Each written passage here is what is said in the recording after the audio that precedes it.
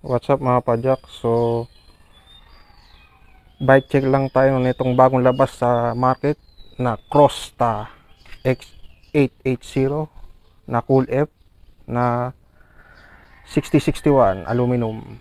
Yan.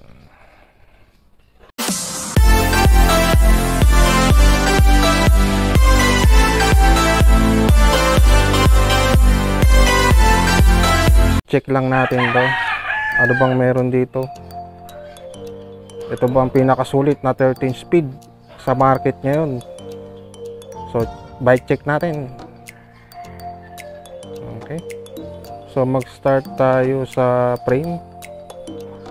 Ang frame nito ay 29er size, small. Yan. Ah, ang tatak niya ay Crosta. Ito. Matte finish na gray na may white at orange.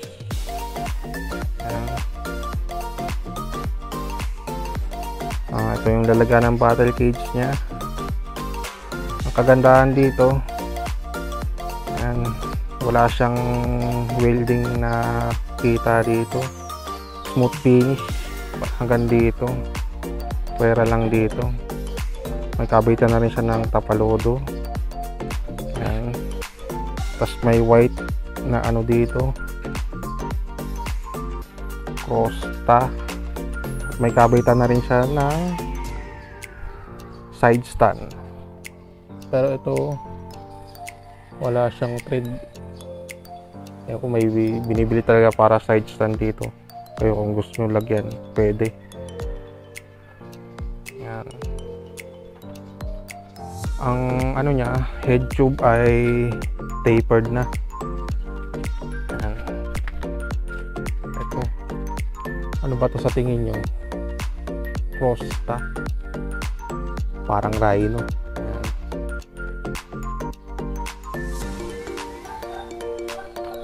Sa top tube, Crosta pa rin, nakalagay 29 T6061 aluminum.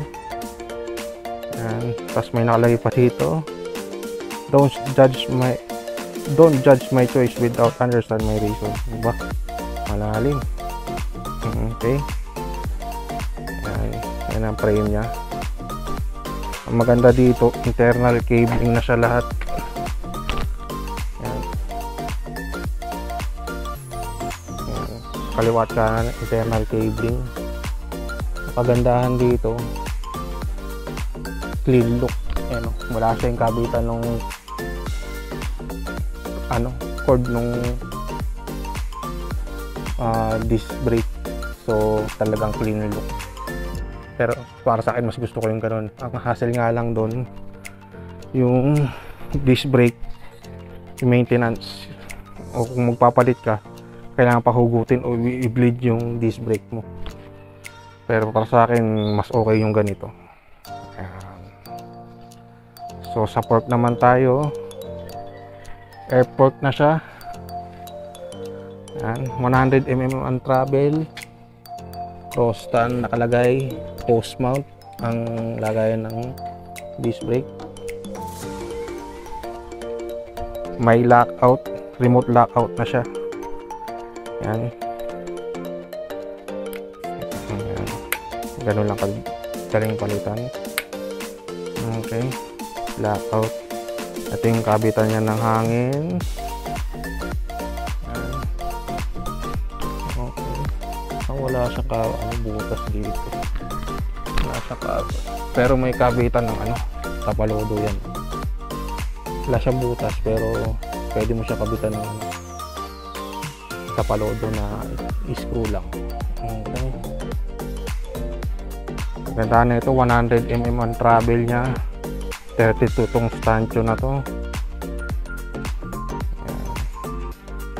Quick release. Tapos ito yung ano remote. Okay sa handlebar Prosta aluminum to. Bicycle standard. Okay. Yung handle grip nya malambot naman. Yung preno nya ewan ko anong walang brand kasi pero parang X-Spark o ano to Logan. Pero wala talagang nakalagay eh. ang ano niya oo okay. Kailangan pa siya tanggalin yung grip niya para makabit. Hindi katulad ng iba na may dalawang ito isang ano lang. So kailangan mo tanggalin yung grip para ikabit tong itong disc brake. Uh, sa stem naka negative cross ta rin. Ayan. Cross ta rin tong top cap.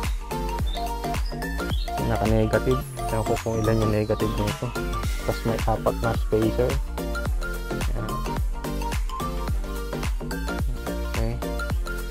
sa seat post. Ang size nito ay 30.9 hindi siya normal na ano yung normal kasi 31.9 dito sa Pilipinas. Uh, so ito 30.9 pero may mabibili ka naman ito sa Shopee at Lazada. Okay.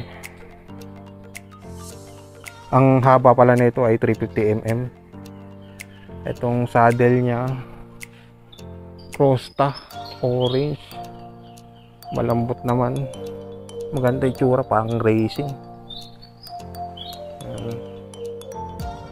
tapos yung seat lamp quick release Ayan. okay. quick release siya saan tayo sa gulong jumping rabbit jumping hair jumping hair pa no, no, no. Kala ko yung rabbit eh. na skin wall ba tawag dito? Wired 2x2 60 TPI. Ang ano niya size ano ba yung size niya? ito?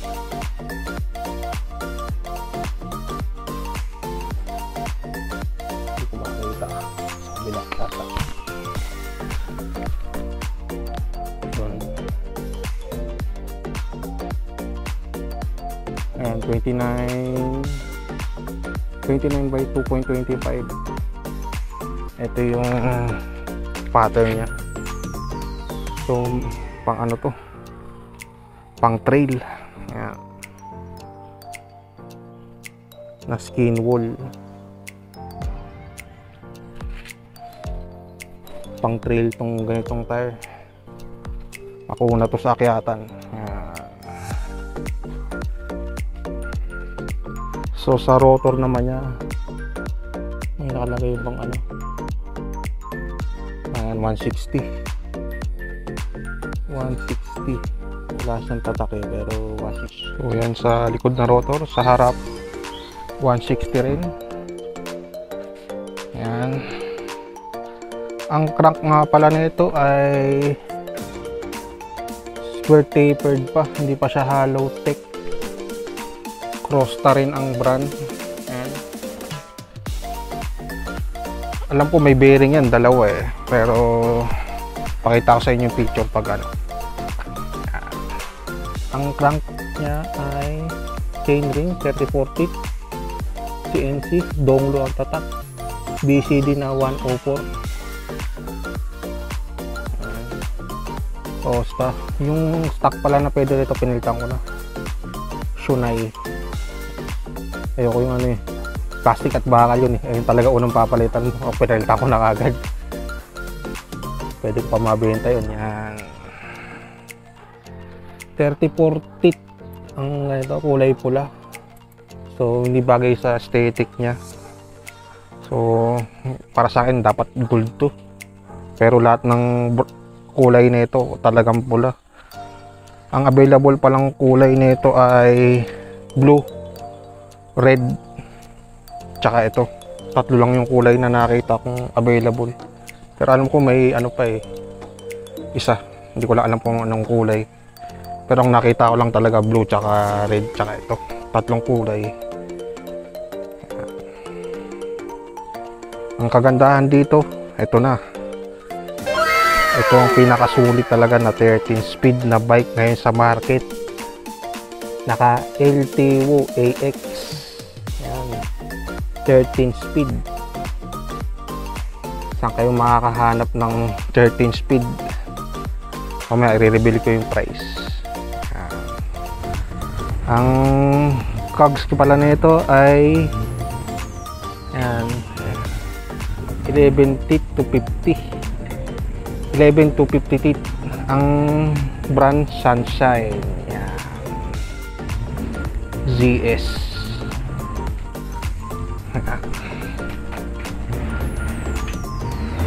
yan ang kulay pula. Yung nasa loob. Bakal to eh. Yung ano tong pula na to yan yung aluminum. Hmm, total sinabi ko na rin ano bakal. I-magnet test natin kung talagang aluminum.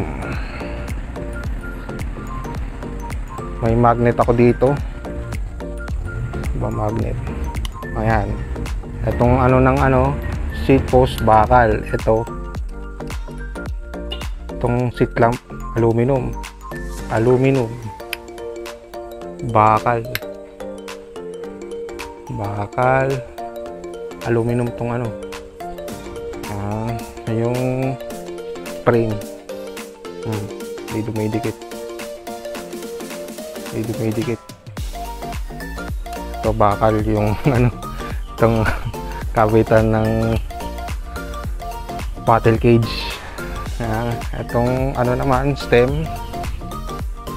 Aluminum. Bakal tong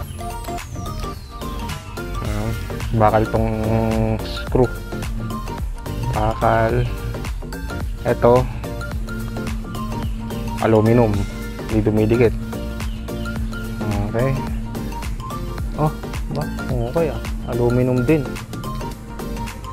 Ba? Aluminum din kaya pala magaan to. Mamaya reveal natin yung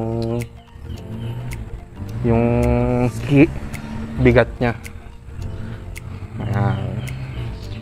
So ito na ang pinakasulit na 13 speed ngayon sa market. Ayan. kumpletuhin na natin. Ngayon i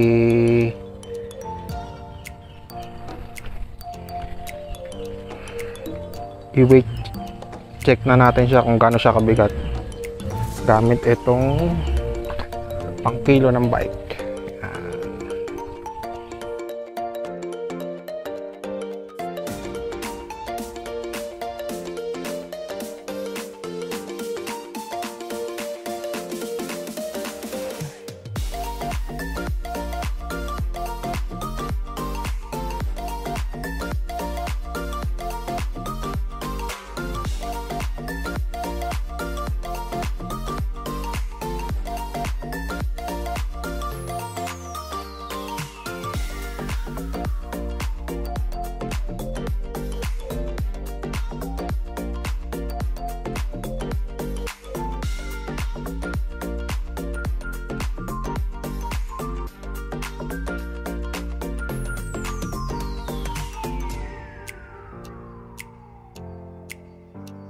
brand pala nitong chain nito ay PYC na 12 speed. Yan. Bakal. Ang ano nito hubs tsaka tong ano nito bakal itong spokes ito aluminum bakal aluminum pati sa harap pa aluminum bakal yung aluminum yung yan aluminum ang hub nya ito ba ano ba? Ba itong itim? Ah, aluminum aluminum alumin ah hindi bakal itong itim ang ano ang aluminum. Bakal bakal aluminum. Ayun o ay dumikit Hmm, bakal ay dumikit Ayan. puro aluminum tong sa LTO pati ito ay hindi bakal to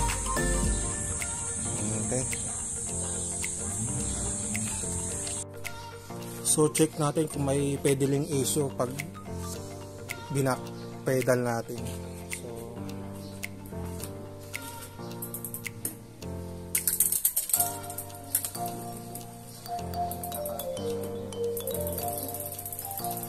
So wala siyang pedaling issue, back pedaling. So nakita niyo naman na wala siyang back pedaling issue katulad nung sa S-Ride na 12 speed.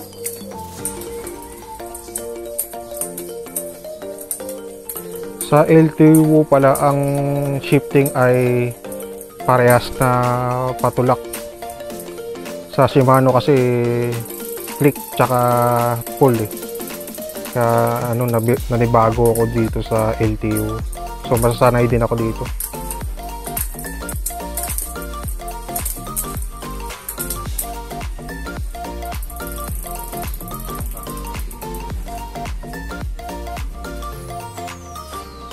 So, yan.